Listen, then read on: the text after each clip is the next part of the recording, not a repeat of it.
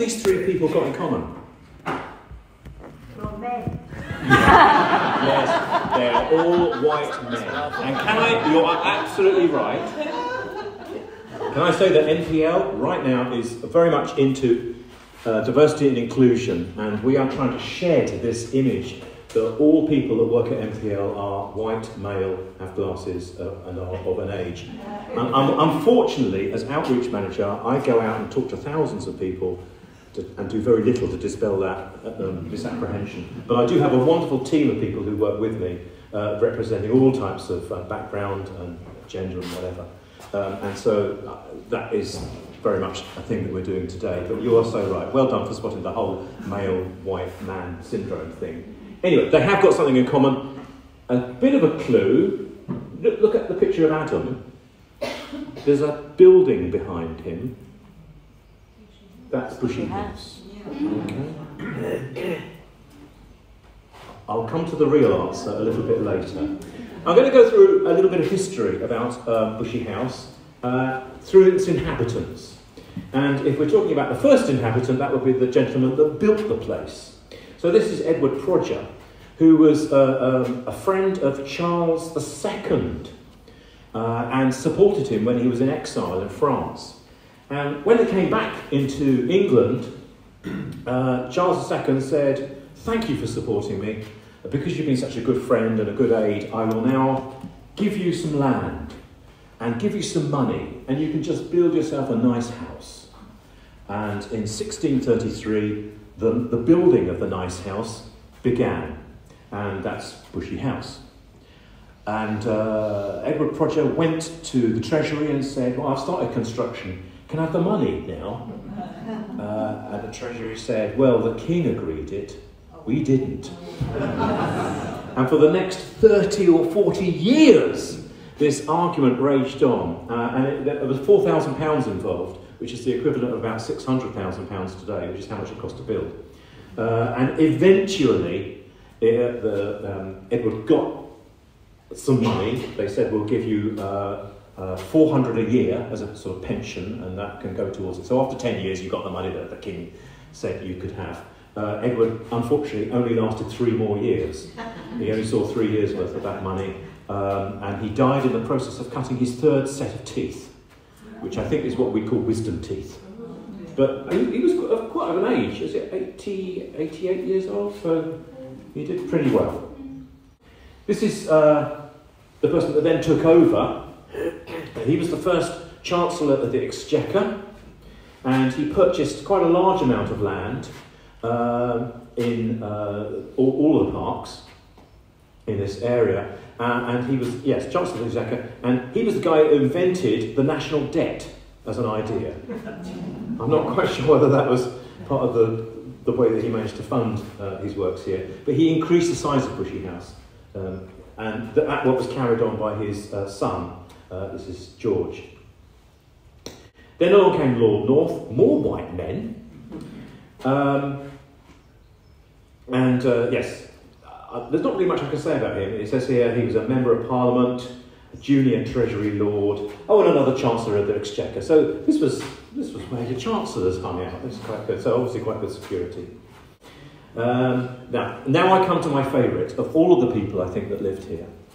Uh, this is William, who was the third son of George III, okay? And uh, he was third in line for the throne, so he wasn't even the spare. You know, the heir and the spare? He was the spare spare. So, age 13, he was uh, sent to sea, a midshipman. There he is, decked out. Uh, he used to hang out with Admiral uh, Nelson. He became quite friendly with Lord Nelson and um, went around in the seas. He was a bit of a lad, he was a bit of a joker, uh, he was a drinker, a womanizer, and um, earned the nickname Silly Billy. But when his elder brothers started to die off, suddenly the, the establishment started to get a little bit worried uh, that he should, you know, be a little bit closer to home. So he stopped being just William and started to be called um, William Duke of Clarence. And uh, he was given this house, Bushy House, to live in. And I don't know if you've seen this little folly in the, in the gardens. And next time you're in there, have a look at that. Buried somewhere in there is a part of the mast from HMS Victory from the days of um, you know, working um, with, with Nelson. So I think these pictures, well, the one, this picture here, I think they're actually clearing the space to build this thing there. He didn't really have much to do, as people in waiting uh, have, as, as royals in waiting have. And so, like most people, I guess, he just went into town and went to the theatres and had a laugh. And he genuinely fell in love with this lady here, Dora Jordan. Have you heard of Dora Jordan? There's a Dora Jordan Road. Okay? Um, she was not interested in him initially. It took two years of um, charming behaviour before she eventually agreed to go out with him.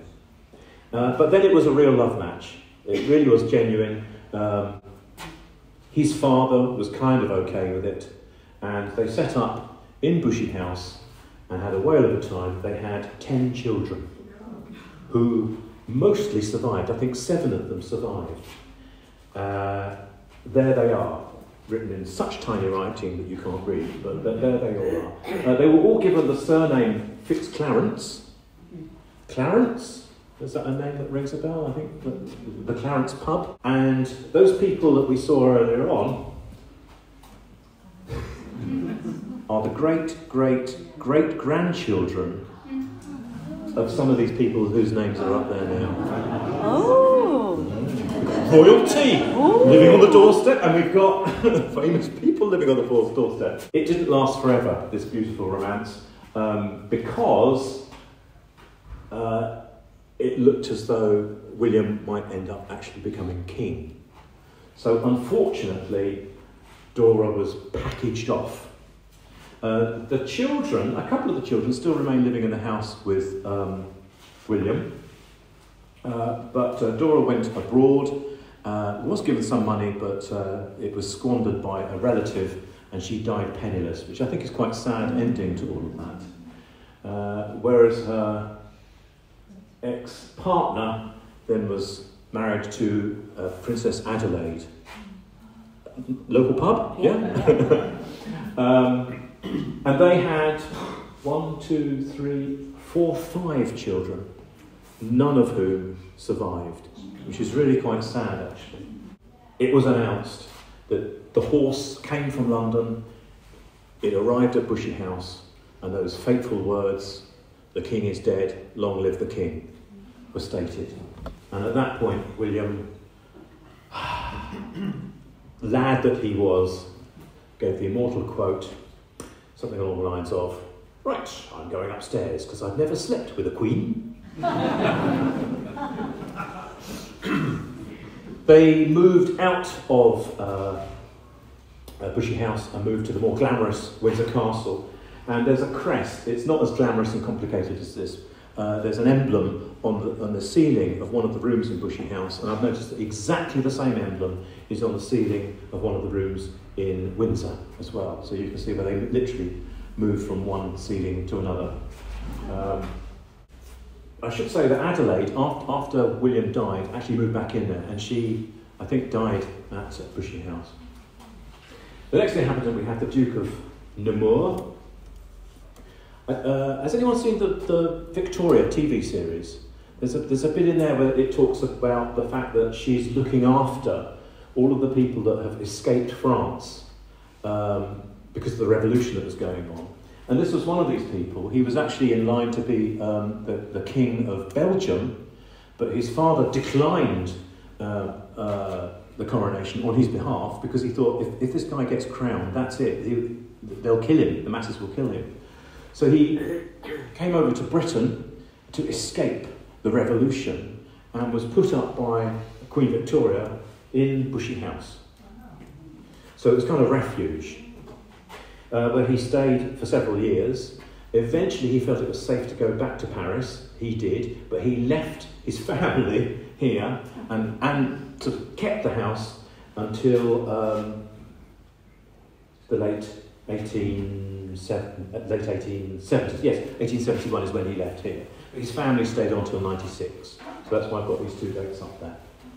And then it became the National Physical Laboratory. I'll explain how that little bit was set up, but this would have been the next person who took up residence in there. It was the first director of NPL, uh, Richard Glazebrook.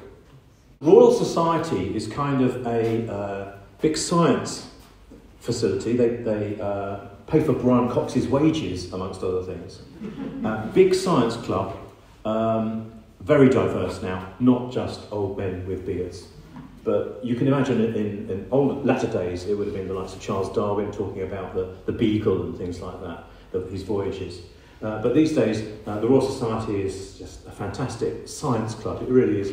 Um, and they're, they're, always sort of saying stuff in the press about how science policy should be going, etc. today. So uh, they were asked by the British government to set up a laboratory um, to be responsible for units of measurement and for enabling measurement at the very highest uh, precision and accuracy. So this facility was set up. They, they thought about putting in in Kew initially and then settled for this bushy house area here. I guess there was quite a lot of area around where it could have expanded, and indeed, obviously, it did. But in 1900, uh, it began. Uh, but before we move on to that, I thought I'd share three bushy house moments with you. Okay, slightly odd, slightly quirky moments. The first is this: my friend Fritz is a professional film extra, and he said he told me the other, he told me once. Funnily enough, we were filming down your place the other way, the other day, and I said, "What do you mean?" And he said, "Yeah, I, I was in this film Quills, which is about Bedlam, the Marquis de, de, de Sade, and at one point they used Cannon Gate, which is just over there. They used Cannon Gate as the gateway, if you like, to Bedlam Lunatic Asylum. and at one point, they all break loose, including my friend Fritz, devoid of clothes, running out of here towards the camera, going, ah! I wish I'd seen that. this is odd situation number two. So behind us, just over there, there's another room. And in what year did we do this? 2011. This is Yan Wong, TV presenter, uh, bio- biology expert. Uh, at the time, he was in a program called Bang Goes the Theory. The middle chap is um, Simon Hall, uh, he still works at NPL. Uh, he's a laser specialist. And then the one at the bottom is me. And the three of us uh, filmed a little segment for this TV program that involved shining a laser along that yellow line that you can see there. So literally across the field from the room behind you into some bushes in the gardens of Bushy House. Uh, we had a laser at this end and then we had a mirror at the other end reflecting the light being back. And we had a fancy chopper, optical chopper system that switched the light on and off and on and off and on and off. And literally, we were able to time how long it took the pulse of light to travel that uh, 600, 300 metres there, 300 metres back. And from that, we were able to measure, get a value for the speed of light. Does that make sense? So we were doing a real proper scientific experiment. Um, it was really, I think it was October, it was cold, there was condensation on the mirror, uh, the, the, beam, it was, it was not easy, but we did get an answer after about, um, I think it took us three hours just to get one result. And the third incident is this one here. You, you recognise the guy on the left? Mm-hmm. Yes. So uh, I think this was 1990, no, it was two, 2000, I think. Yes, 2000 uh, Prince Charles visited us. And uh, he, he landed his helicopter in the middle of this field here. Somebody cleverly cut the grass, especially for the event, so bits of cut grass went absolutely everywhere. There was a phenomenal racket of a noise. The local residents complained about the noise. They said, What's this helicopter landing in our back garden? No one told us this was going to happen. We said, We were told not to tell anybody because it's royalty. And then the local residents said, oh, that's okay then. Anyway, he came and visited us, and uh, he, he spent a little bit of time looking around Bushy House. Um, of course, his uh, relations had lived there all this time ago. Um, part of the deal was actually also that we had to install a special uh, facility for him uh, with a, a, a little anteroom uh, so that the gentleman in waiting could be there at the same time that he was um, if he needed to go to the loo. So we had to install a special um, royal flush for. Um, so NPL in Bushy House. This is the opening event uh, by Prince Charles's grandfather, great grandfather, grandfather, great grandfather, um, Prince of Wales, uh, Edward the Seventh, as, as became, uh, in 1901, and there they all are, looking very dour and serious. Uh, six years later, there was a party on the lawn, and there they are, all dressed up in their finery, having a great time. The first, the, the, the science was done in, on the, the, the, the ground floor. There's some work in the cellar. Somebody in this audience, I know, is doing experiments uh, in, the, in the cellar and, and on the ground floor there today. Um, and the first floor was for the director to live in. And this, this is one of the, uh, this isn't the experiment, this is just to show you one of the experiments that was done. Um, in 1910, we were introducing electric light as a, a, way of illuminating houses in a safer way that didn't involve burning a noxious gas that uh, was creating horrible um, smells uh, and was dangerous. Uh, and there were tests done on how efficient, uh, literally pounds per lumen, um, it was costing to, to create light in offices and later in homes using electric light bulbs. And I think this is interesting because the whole energy efficiency thing is very, very important these days. And here we have a succession of different lighting technologies, each increasingly better at converting electricity into light. And this sort of measurement still goes on today. But to do that, you need to be able to measure light properly and you need to measure electricity properly. Here are some ladies uh, measuring thermometers in the thermometry section. And measurement of temperature is still something very much that we do today. Uh, temperature is absolutely critical in many, many manufacturing and health um, environment situations. So uh, there, there they are. And you can see a little row of thermometers along there, in, in the, the, bottom there. So you can literally imagine her putting one after another onto this device and, and uh, making sure that the markings, I think this, the, literally scratches on a mark uh, to show when uh, something is at exactly the right temperature. Uh, this is the office, I think in 1932, on the first floor, so this would have been the director's office. So there's a wonderful book called Pyatt, which talks about uh, NPL up to I think about 1965. And within that book, there's a lovely series of illustrations about how the site was developed. So uh, this is as it was uh, when, when NPL got the site in the first place. So you can see lots of nice fields everywhere. Um, to put it into context, can you see a little curve? Yeah. Mm. That's uh, Queen's Road. Ah. Okay? Yeah. So there's fields absolutely everywhere. It's beautiful, isn't it? And a lovely um, uh, lake, mini lake.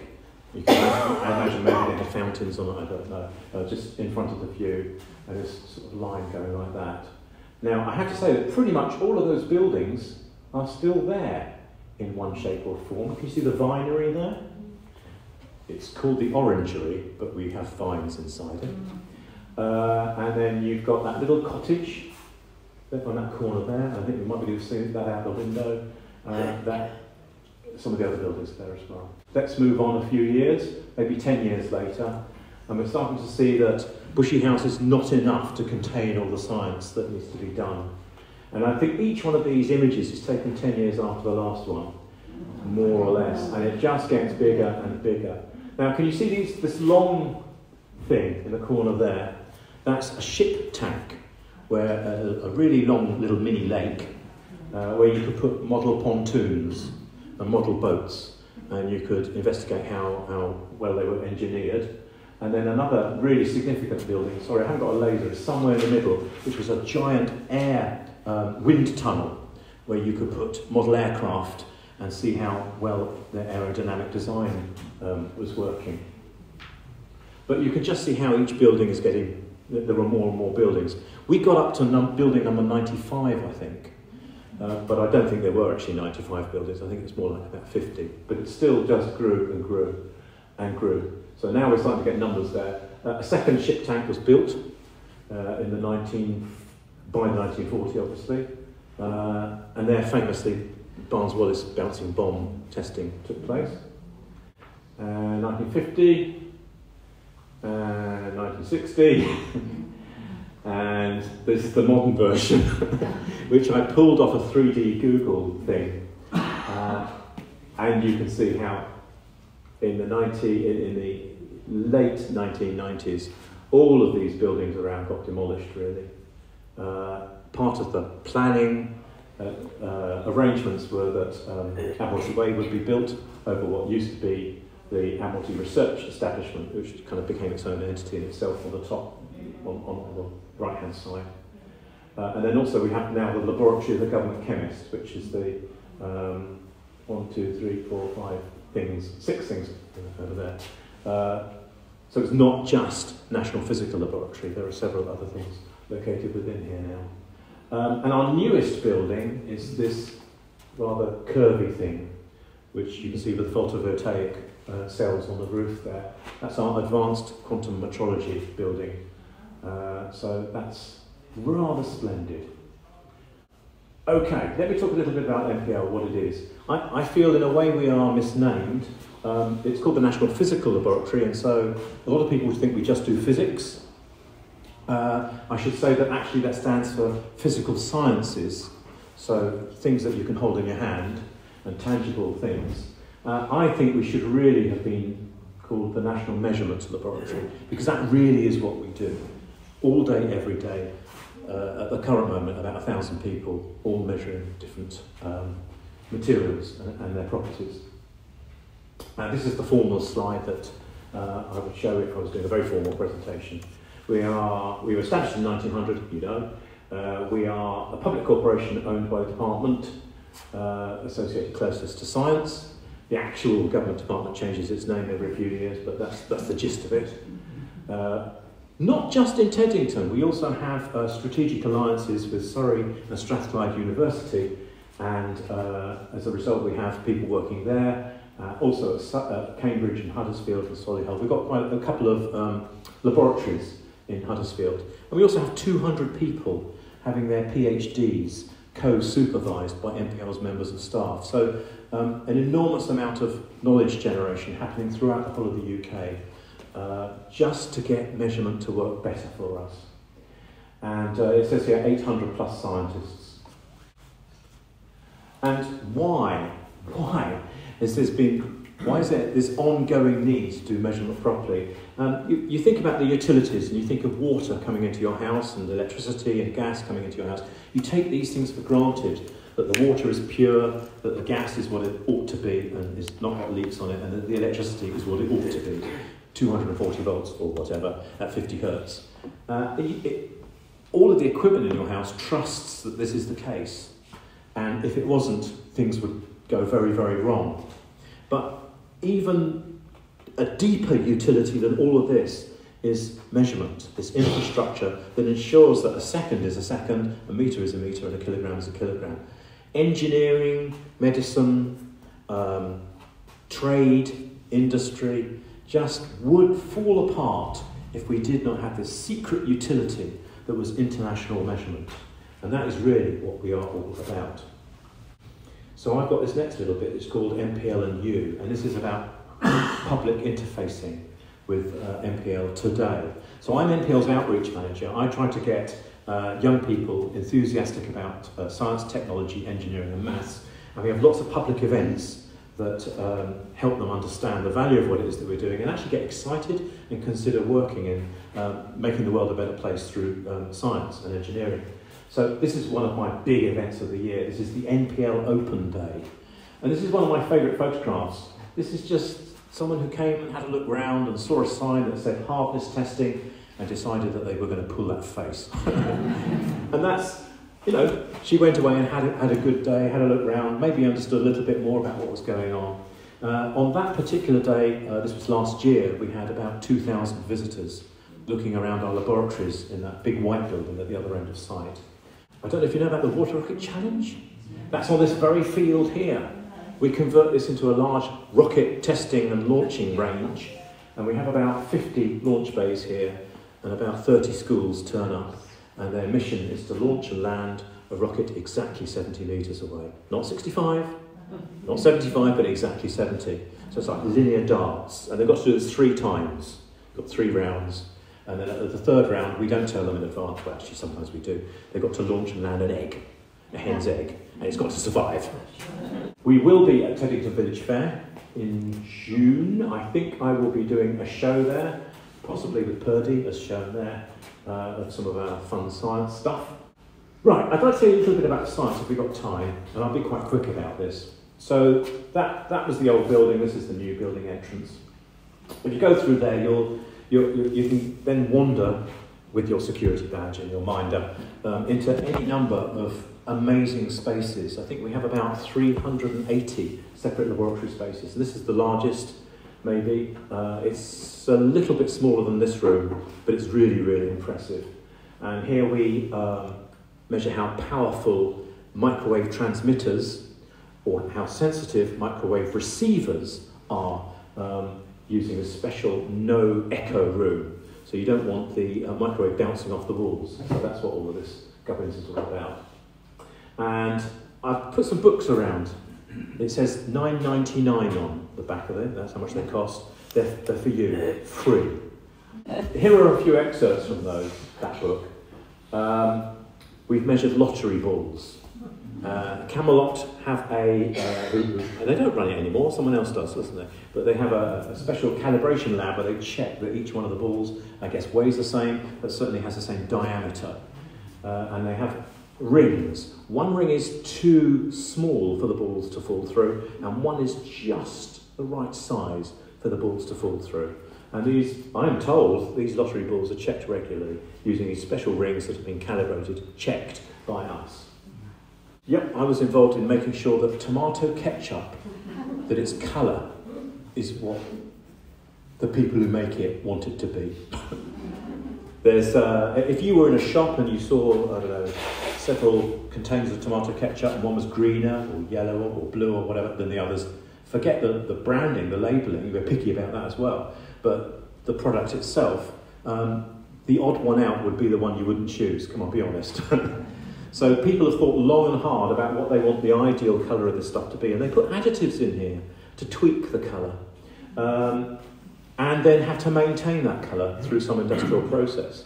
So we helped make sure that, the, that this occurred by, by calibrating machinery that looked at the colour and reported it back, and then by some feedback mechanism changes the ingredients accordingly. We've measured the um, ripeness of cauliflowers. And you might think, why? why have we, we, so it's an X-ray vision type thing, and it, it can actually look underneath the leaves because you can't see whether a cauliflower is ripe when you're harvesting it because the leaves are over it. So uh, a neat way of actually seeing the degree of ripeness, and um, if they're harvested at the wrong time, they'll just get thrown away, um, is to look at the humidity, the amount, the water content in there, and this could be measured by effectively shining a kind of microwave off, off onto it and bouncing it off it. So it's actually terahertz, which is the same um, frequency as is used in one of these full body scanners that you walk into in an airport. It's a very, very, very soft, if that's the right way of using it, X-ray. Um, and so, yes. And this, this technology it might sound a bit bizarre and robotic and futuristic and why bother? Um, but this is saving an, your average Lincolnshire farmer £100,000 a year on just harvesting stuff at the wrong time. We've measured the, the power coming out of these microwave transmitters that we call mobile phones. So there's about one watt coming out of this, out of a mobile phone. Uh, if you really wanted to cause havoc, strap 700 phones to someone's head, ring them all simultaneously, and then that will have the same power uh, as a microwave oven. no, don't. um, you can't claim anything in advertising that hasn't been backed up. So if someone says our razors shave closer than anybody else's, somebody has to check that, and you can guess where they went. so we had a, a, material that was a bit like flock wallpaper, you know, sort of shaggy, velvety feel wallpaper, uh, and a, a method and some razors, and then we had to measure the length that was left after the shaving had occurred. And this brings me to one of my favourite units. I mean, units of measurement are really, really important. Kilogram, the metre, and the second are internationally defined, agreed, and everybody uses the same one. Bizarre. So it transcends language and culture um, and politics and everything. Uh, but my favourite unit is the beard, the beard second, which is the length that hair grows in one second which people argue could be anything between 4 and 10 nanometers. So it's not a particularly you know, fixed unit. Uh, we discovered that if you shake Guinness at exactly the right frequency, the bubbles race to the top really, really quickly, and it doesn't take ages to settle. And uh, we're just down the road from Twickenham, aren't we? Can you imagine a match with thousands of pints of Guinness being waited, waiting for them to settle? That must be quite a thing. So the thought of having a, a thing in a pub that just went like that and then the whole thing settled. I have actually seen a branded version of this, but I've never seen a single one in a pub. Uh, and I think the reason is that um, it's part of the mystique, isn't it? Waiting for that thing to settle. You've got to wait. Uh, so uh, sometimes there are solutions for things that some people might perceive as a problem, like the bartender at Twickenham. Uh, but, and you can create solutions, but there are reasons not to use them. We created the world's smallest snowman, I think in 2010. Uh, ah, this slide's going to just keep leaping, just to keep me on my toes. Uh, it was just to demonstrate some of the amazing science that we can do, and that we can create something so tiny, so tiny. Um, the, the width of his head is about the same as the wavelength of red light. I mean, this thing is absolutely tiny. You put five of these on the width of a, a human hair. Uh, and I made a fantastic video um, showing just how small it was and um, had thousands of comments. It had about 500 views, so, 500,000 views, half a million views, which I thought was good for a science video. Um, but uh, that my favourite comment was, world's smallest snowman. I've seen bigger. Uh, yes, uh, as was mentioned in the introduction, I have been involved in measuring colour and light for many, many years. I could do another whole talk on all of that. But this is the bizarrest machine I ever built. It was something to measure the shininess of cats. It's in the book um, because somebody wanted to prove that their um, food, their pet food, made cats' pelts shinier than anyone else's. And so rather than having a panel of people to assess cat pelts, uh, the people might change physically, as in there might be different people uh, from year, year to year. So you need that stability of a decent measuring facility. Uh, just let's, let's make a machine to measure how shiny cats are. So I did. Uh, we measured how crispy biscuits are by listening to the sound they make when you break them. there are lots of different ways of doing things. Um, it's sometimes it's what's the quickest and the easiest rather than the most accurate um, and most expensive approach? Or, or, can we do things better? Or do we have to measure things a thousand times when we only need to measure them 500? So uh, there's lots of stuff. I would say that what actually precision measurement does is, um, well, I wear spectacles, and without them I cannot see a thing. But with a higher resolution of measurement, like measuring things at millimetre scale rather than centimetre scales, or using uh, water particles instead of um, balls, giant balls. You just see things in more detail. And that means you can do more elegant science, more elegant engineering, nanobot engineering, and stuff that is just, we might have considered to be science fiction. There are national challenges and there are security and resilience. These are the areas that we've clustered together, are the ways of thinking about how we can help um, humanity prosperity, which is what I might consider to be um, manufacturing things in a more efficient uh, and proficient way. Uh, the environment, of course, is a big thing at the moment. Uh, yes, we are doing loads of stuff on environment pollution, uh, we're assessing sea levels, um, uh, working on new technologies uh, that reduce consumption of energy and so on. And then health, of course, as well. We have a large project working on cancer, uh, imaging of, of cancer stuff. Nearly finished. Is, I just thought I'd introduce you to a couple of people who work there, just in case you see them in the street with their passes. Tell them to take their passes off. They're not supposed to wear passes uh, when they're walking outside the site. This is Maddie, and she is helping build uh, what we're calling the Truths satellite. That's this thing here. It's going to measure the brightness of the sun, and you might think, what? but actually, we don't know how bright the sun is. It's, it's never been measured properly. Every time we launch a satellite and we measure it, we get a different answer. Uh, the results track previous me- uh, measurements on other devices that are also up there, but they never agree. So when the sun gets brighter, all of the readings go higher. When the sun gets duller, all of the readings go down, but none of them are exactly the same. So in 2030, we intend to launch this thing that will unequivocally give us an absolute answer on how bright the sun is and how it's changing, which will inform climate change. This is my friend Purdy. Uh, can you see her reflection in this selfie here? This is a piece of very, very pure silicon that's part of a project to evaluate the kilogram. And uh, this is uh, the new prototype or part of uh, the, the, the new way of running the kilogram. Previously, it was just a lump of metal, a single object that was the kilogram. And if Weight Watchers built, broke in and smothered it in peanut butter, they would suddenly weigh less because by law that was the kilogram. Today we're replacing it with a method which is effectively to measure how much electrical power is creating an electromagnetic force, an electromagnet that works against gravity and effectively creates a um, kilograms worth of force. Does that make sense?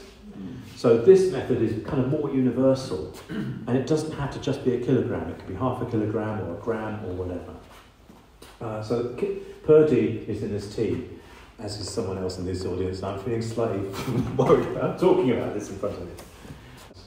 Giuseppe built a, uh, was involved in a project with an atomic clock, which is sending a time signal down a fibre optic link to Reading University, and he got a really odd result. The, the signal just jittered at one point. It was as if someone was shaking a TV receiver, satellite. It just went like that.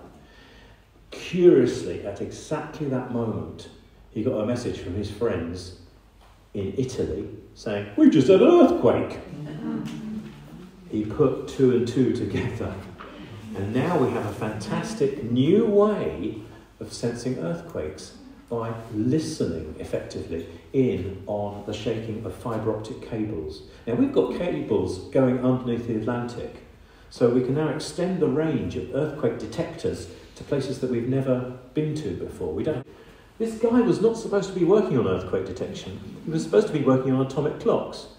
And it's kind of nice to, uh, to me that you know you can start off doing one type of research and then accidentally fall into something else that could have enormous impact.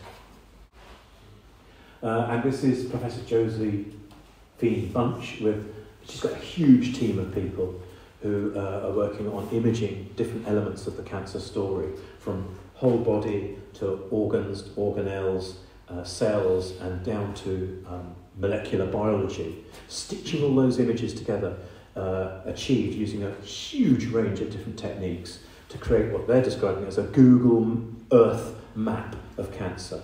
And this will really weave together many, many te- different technologies and different approaches um, so that we can see and tackle medicine in ways that we haven't before. So, do you see what I mean about it's not just physics? It's just everything. So, thank you, William Proger, for building that, which we extended into that. Uh, which led to other things that I haven't even mentioned. Alan Turing, the uh, world's first programmable digital computer, uh, the world's first atomic clock, Louis Essen. Look at his smug face. Right? He's, he's got it to work. These were both done in the 1950s. It was a, a glorious moment for us. And, and then I have mentioned Josie. But, you know, there's just so much going on now that we don't tend to look back and think about stuff we have done. We're really, really excited about the future, and that's where I'm going to stop.